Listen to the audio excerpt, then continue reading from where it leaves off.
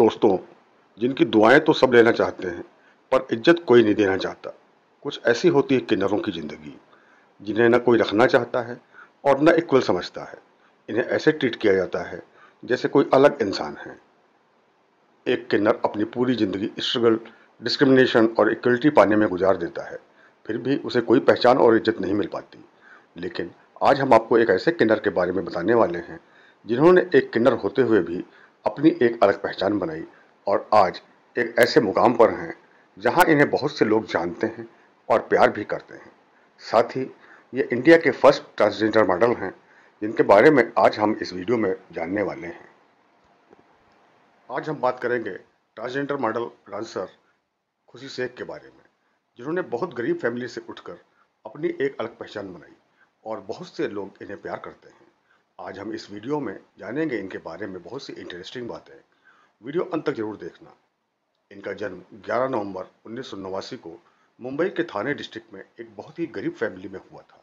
अपनी फैमिली में पेरेंट्स का खुशी फ़र्स्ट चाइल्ड थी। इनका जन्म होने पर सभी बहुत खुश थे, लेकिन जब उनको पता चला, न तो यह कोई लड़का है, न लड़की, बल्कि किन्नर हैं तो उन्हें बहुत दुख हुआ। पर इनके परिवार वालों ने किसी को भी सच्चाई न बताने का फैसला किया। क्योंकि वो खुशी को अपने से दूर नहीं करना चाहते थे। उस टाइम लोगों को लगता था कि किन्नर होने की बात सबको बताएँगे तो किन्नर लोग आकर इनके बच्चे को ले जाएँगे, जबकि खुशी ने इस बात को बाद में पूरी तरह गलत बताया कि किन्नर ऐसा कभी नहीं करते। ये तो फालतू की बातें हैं जो समाज में फैली हैं। लेकिन उस समय इनके परिवार वालों को ऐसा ही लगता था, इसलिए उन्होंने खुशी के किन्नर होने की बात किसी को नहीं बताई। और एक सरकारी स्कूल में लड़का बताकर एडमिशन करा दिया। इन्हें लड़कों वाले कपड़े पहनाए जाते थे और पूरी तरह लड़कों की तरह रखा जाता था। लेकिन जैसे जैसे खुशी बड़ी हो रही थी, उन्हें अपनी पर्सनालिटी को लेकर कन्फ्यूज़न ही रहता था। खुशी लड़कों की तरह रहती थी, लेकिन उन्हें लड़कियों वाली चीज़ें डांस और उनके कपड़े ज़्यादा अट्रैक्ट करते थे। और इसी कारण स्कूल में और बच्चों द्वारा मज़ाक भी बहुत बनाया जाता था। लेकिन जैसे जैसे खुशी फिफ्थ स्टैंडर्ड तक आई, उन्हें भी रियलाइज़ हो गया कि वो ना तो कोई लड़का है और न लड़की, बल्कि एक किन्नर है। ये बात धीरे धीरे इनके फ्रेंड्स को भी पता चल गई। वो सब इनका बहुत ज़्यादा मज़ाक बनाते थे और हिजड़ा, छक्का जैसे शब्द बोलकर इन्हें चिढ़ाते थे। आज भी लोग इनकी आवाज़ पर ऐसे शब्द और ऐसे गंदे वर्ड्स तो बहुत कॉमनली यूज़ करते हैं। खुशी का यह तक कहना है कि बचपन से इन्होंने इतनी गालियाँ और ऐसी बातें सुनी हैं कि अब तो इन बातों का कोई फ़र्क नहीं पड़ता। ये सब चीज़ें उनके लिए बहुत कॉमन हो गई हैं। ये सब तो वो बचपन से झेलती आ रही हैं। खुशी जैसे जैसे अपनी पढ़ाई पूरी कर रही थी, इनके परिवार की आर्थिक स्थिति भी खराब होने लगी, जिसके कारण इन्होंने स्कूल जाना छोड़ दिया और यहाँ तक कि इनके पापा भी बहुत बीमार रहने लगे। घर में कोई कमाने वाला ही नहीं बचा। तब फिर खुशी ने अपना और अपने परिवार का पेट पालने के लिए सिग्नल पर भीख मांगना शुरू कर दिया। क्योंकि ये कहीं जॉब वगैरह या मजदूरी के लिए जाती तो यह कहकर मना कर दिया जाता कि यहाँ तुम्हारी ज़रूरत नहीं है। तो इनके पास भीख मांगने के अलावा और कोई दूसरा रास्ता ही नहीं था। एक दिन खुशी ऐसे ही सिग्नल पर भीख मांग रही थी और भीख मांगते मांगते काफ़ी शाम भी हो गई थी। लेकिन इन्हें इतना भी नहीं मिला था कि यह रात का खाना भी खा सके। खुशी की ऐसी हालत को देखकर सिग्नल पर खड़ी एक औरत ने इनकी मदद करनी चाहिए। उन्होंने खुशी को अपने पास बुलाया और खाना खिलाया और पूछा कि तुम ऐसे भीख क्यों मांग रही हो? खुशी ने अपनी पूरी कहानी उनको बताई। उन्होंने जान लिया कि खुशी भी एक किन्नर है। दोस्तों, आपको बता दें, जिन्होंने खुशी को सिग्नल पर भीख मांगते देखकर खाना खिलाया था। वो आज खुशी की गुरु हैं।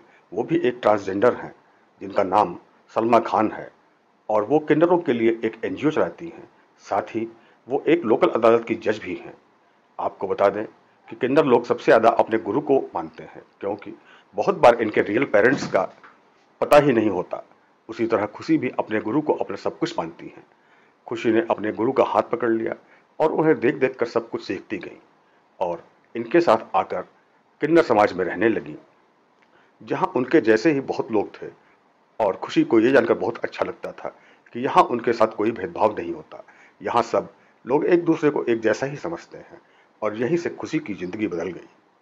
खुशी सुंदर तो थी ही और डांस सीख कर काफ़ी अच्छा बेस बना लिया।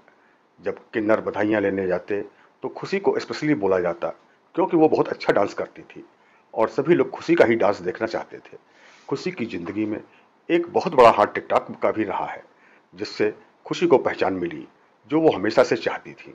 खुशी ने अपने डांस और लिपसिंग वीडियो 2019 से ही टिकटॉक पर बनाने शुरू कर दिए थे। इनकी खूबसूरती को देखकर और उनके बेहतरीन डांस से इनकी टिकटॉक पर अच्छी फ़ैन फॉलोइंग होने लगी। हालाँकि टिकटॉक बैन हो गया, लेकिन खुशी को आज भी इंस्टाग्राम पर काफ़ी लोग फॉलो करते हैं।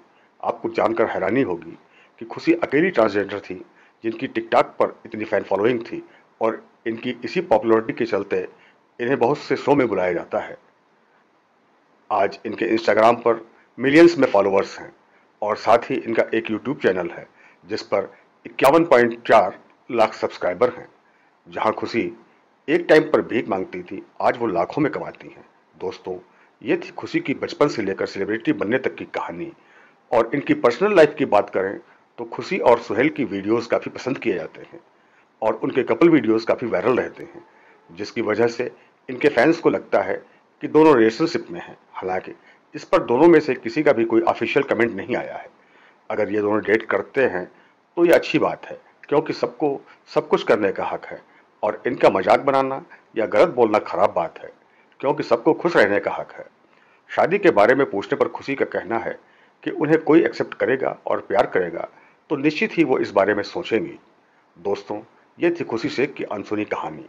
दोस्तों, उम्मीद करते हैं वीडियो में दी गई जानकारी आपको अच्छी लगी होगी। दोस्तों, वीडियो देखने के लिए और अपना कीमती समय देने के लिए धन्यवाद। वीडियो अच्छी लगी हो तो वीडियो को लाइक करें और चैनल को सब्सक्राइब करें। धन्यवाद।